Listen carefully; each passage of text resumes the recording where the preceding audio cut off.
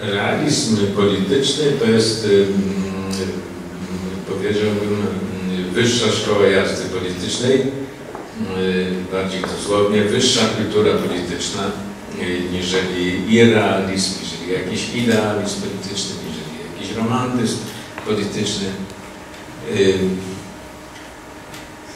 Żeby to zilustrować, co twierdzę, wszyscy się na świecie chyba zgadzają z tym, że najdoskonalszą politykę przez y, paręset lat jednak prowadziła Anglia, y, która miała najwybitniejszą y, klasę y, polityczną, mm, która była najskuteczniejsza, ale zarazem nie stosowała przemocy w nadmiarze, że tak powiem, bo bez przemocy żadnej polityki nie ma. Y, Krótko mówiąc, y, najlepszą politykę miała Anglia i to była polityka realizmu politycznego. Y, Anglików w sposób spontaniczny razi na przykład polskie podejście do polityki, uważają, w czasie wojny tak uważali, Churchill wielokrotnie tak mówił, że właściwie mieć do czynienia z polskimi politykami to trochę jak, jak, jak przy wiecie, szpitale wariatów. Dalej. Weźmy Niemcy. W swojej historii oni mieli okresy politycznego idealizmu, romantyzmu i mieli okresy doskonale prowadzonej polityki z wielkimi sukcesami. Takiej polityki, która mogła być wzorem dla Europy, a zresztą jest. To były czasy Bismarcka przykład. Tak? To były czasy bardzo realistycznej polityki, yy, którą można przeciwstawić niemieckiej polityce czasów wiosny ludów, gdzie Niemcy byli opanowani przez idee romantyczne, idealizm jakiś skrajnie polityczny z jednej strony, a z drugiej strony można przeciwstawić politykę bismarckowską polityce yy, nazistowskiej, polityce hitlerowskiej, prawda, która była najskrajniejszym jakimś irrealizmem politycznym. Można to określić romantyzmem politycznym, to zależy od tego, jaką się typologię y, polityk, że tak powiem, przyjmie w punkcie wyjścia. Więc tam, gdzie mamy do czynienia z polityką realistyczną i z polityką irrealistyczną, romantyczną czy idealistyczną, widzimy, że polityka realistyczna jednak jest, jest polityką lepszą i że realiści polityczni y, są ogólnie biorąc y, mądrzejsi. Oni przegrywają czasami z szalonymi jakimiś y, charyzmatycznymi przywódcami albo z jakimiś ruchami politycznymi, takimi jak hitleryzm na przykład, czy takimi jak, jak bolszewizm. Ale to nie zmienia mm, tego faktu podstawowego, że jednak, że jednak realiści mają więcej racji, mają więcej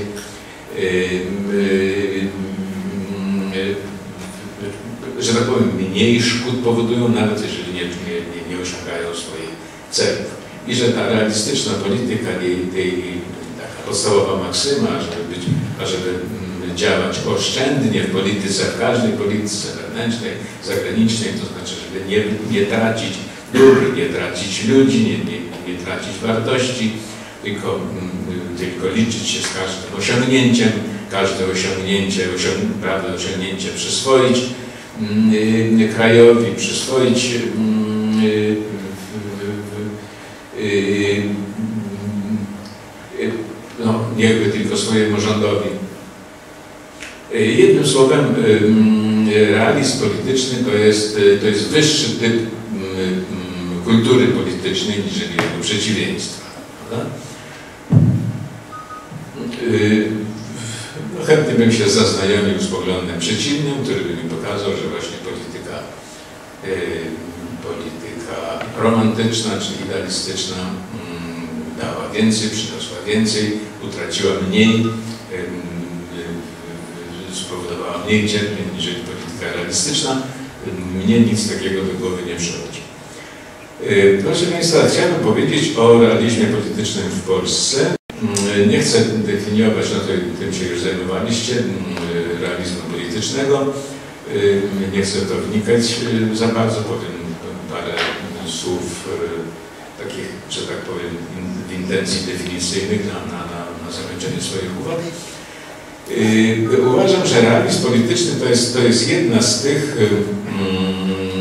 yy, jedno z tych zjawisk, o których Michel de Montaigne mówił, że o pewnych sprawach trafnie się sądzi, sądząc powierzchownie i nie wnikając za bardzo w szczegóły, bo jeżeli się w te szczegóły i niekończące się rozróżnienia wdamy, to właściwie do niczego nie dojdziemy, tylko sobie uświadomimy, czy też, czy też sobie postawimy mnóstwo y, trudności umysłowych i y, bez konkluzji ostatecznych. Więc realizm polityczny y, wzięty w taki, że tak powiem, sposób no, y, jakiś syntetyczny, no, bardzo ogólniający, ale nie, nie, nie, nie, nie bez jakiegoś rozkawałkowania analitycznego. Realizm polityczny to jest pewnego rodzaju kultura. Y, to jest zjawisko raczej kulturowe. Mm, y, cechę myślenia realistycznego mają jednostki, ale przecież nie o tym mówimy, bo to jest jakiś dar losowy. Y, jeżeli mówimy o realizmie politycznym, politycznym jako o pewnym fakcie historycznym, to, to, to, jest, to, to jest pewien typ kultury Mm. Przeważnie się spotykam z taką sytuacją, że mm, y, y, słuchacze, czy to będą studenci, czy też, y, czy też ludzie y, zaawansowani wiekiem, a dotyczy to nawet i mojego pokolenia, przeważnie y, nie znają tak podstawowego faktu z czasów ostatniej wojny, jak y, działalność y, Adama Ronikera i, organizacja, którą stworzył, której przewodził, mianowicie Rada Główna Opiekuńcza. Rada Główna Opiekuńcza to była bardzo rozległa mm, organizacja. Ona y, y, działała w tej organizacji, myślę, że więcej niż 100 tysięcy osób. To była organizacja działająca legalnie i jej celem było niesienie pomocy czy to lekarskiej, czy, czy, czy, czy, czy, czy takiej no, żywnościowej, czy innej y, ludziom znajdującym się w skrajnej biedzie, także więźniom. Niemcy zgodzili się na taką apolityczną organizację. Pierwsza jej wersja była, miała miejsce w czasie I wojny światowej, w czasie II wojny, też zresztą przez Ronikiera prowadzona, w czasie II wojny światowej Roniker to chciał powtórzyć, miał sukces w czasie I wojny i chciał powtórzyć ten sukces w czasie II i odniósł rzeczywiście sukces. W czym się wyrażał sukces mm, Rady Głównej Wykonawczej? No w tym, że organizacja pomogła co najmniej milionowi osób przeżyć wojnę. Przy tym pomoc, y, jaką organizacja niosła, była zaadresowana do ludzi y, będących w najgorszym położeniu, a więc można powiedzieć, że tysiącom, dziesiątkom tysięcy, y, a może setkom, Rada Główna Opiekuńcza uratowała życie. Dotyczy to ludzi, dotyczyło to i więźniów w jakimś zakresie, liczbowo mniejszym i będącym mm, poza, jak chcę powiedzieć, na wolności, ale poza, poza mm, więzieniami. A więc, y, y, co byśmy mogli, a więc była to organizacja nadzwyczaj pożyteczna, z, z, z wymiernymi sukcesami, działająca legalnie. Co byśmy mogli przeciwstawić osiągnięciom Rady Głównej Opiekuńczej z czasów wojny? jakie, jak, na, na, co, na co można by wskazać jako równoważne pod względem, że tak powiem, użyteczności publicznej. Konkurencją, znaczy powiedzmy organizacją, która w Radzie Głównej Opiekuńczej wyczuwała od czasu do czasu konkurenta, no to było Polskie Państwo Podziemne. Prawda? Delegatura rządu londyńskiego w Warszawie i Armia Krajowa.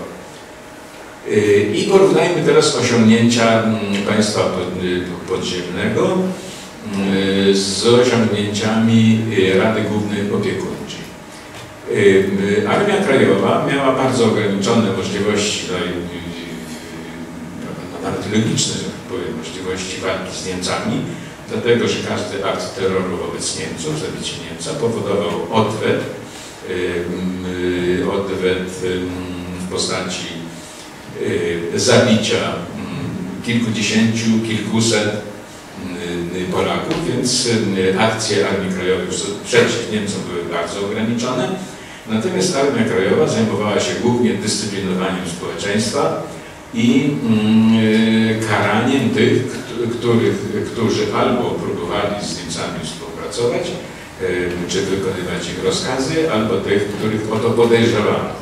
Oczywiście, że podejrzeń było wiele więcej niż faktów kolaboracji i ci ludzie podejrzani byli mm, przez AK mm, zabijani tam, gdzie to było możliwe. Poległo w ten sposób bardzo mm, wiele osób, także zasłużonych i sam Adam Roniker obawiał się, że na niego także może być wydany wyrok AK i żeby się przed tym jakoś ochronić, starał się o dobre stosunki z delegaturą rządu i z dowódcą AK, Borem. I to były, to były dobre, to były, to, jego starania o te dobre stosunki były podyktowane właśnie tym, że w przeciwnym wypadku jako konkurent dla polskiego państwa podziemnego może być, może być ta organizacja, czy działacze tej organizacji mogą być zabijani. Nie należy sobie wyobrażać, że działanie w ramach Rady Głównej Opiekuńczej, legalnej organizacji, było rzeczą całkowicie bezpieczną. Nie było taką. Sam Roniker siedział w więzieniu, przesłuchiwany przez gestapo i wcale nie było wiadomo, czym się skończy, czy oświęciniem, czy rozstrzelaniem. Także inni działacze Rady Głównej, jeżeli byli narażeni na, na śmierć, na więzienie i tak na obozy koncentracyjne. Tak więc, tak więc bezpieczne działanie nie było, ale to było działanie użyteczne i w moim przekonaniu, porównując Radę Główną Opiekuńczą z, z Polskim Państwem Podziemnym, w moim przekonaniu Rada Główna Opiekuńcza miała no, nieporównanie większe zasługi, większe znaczenie dla narodu polskiego, niżeli, niżeli państwo podziemne, które jest obiektem apologii, o którym się dużo pisze, które się czci na, na, na, na najrozmaitsze sposoby, a, a efekt pozytywny państwa podziemnego no, nie jest łatwo wskazać, prawda? Tylko trzeba się uciekać wtedy trochę do takich interpretacji ideologicznych, patriotycznych, jakichś bardzo idealistycznych. Więc dzieje się wielka niesprawiedliwość, prawda, i my jesteśmy winni tej niesprawiedliwości, że w porównaniu z tym, co wychwalamy, nie oddajemy sprawiedliwości wystarczająco organizacji, która miała o wiele większe znaczenie realne, o wiele większe znaczenie niżeli, niżeli to, co sobie zarządzał rząd londyński, czy, czy w, co w kraju zdziałała Armia Krajowa. Polskie państwo podziemne no, znaczy jest wielkie, czy było wielkie dzięki swojej symbolice patriotycznej, dzięki, dzięki prawda, takiemu wyolbrzymieniu symbolicznemu jego znaczenia. Natomiast, natomiast Rada Główna Opiekuńcza jest oceniana tylko z punktu widzenia realnych dokonań i też jest oceniana, oceniana niesprawiedliwie. Więc my jesteśmy winni niesprawiedliwości, ponieważ nie oddajemy, nie oddajemy odpowiedniej, że tak powiem, czci Radzie Głównej Opiekuńczej, za to czcimy działania, które przynosiły tylko ofiary w ludziach, prawda? Bo działanie polskiego państwa podziemnego przynosiło tylko ofiary w ludziach i żadnego efektu pozytywnego innego w moim przekonaniu nie dało. Historycy tego nie rejestrują i nawet ci, którzy wieją zachwytem, nie potrafią wskazać, co pozytywnego polskie państwo podziemne naprawdę zrobiło. Więc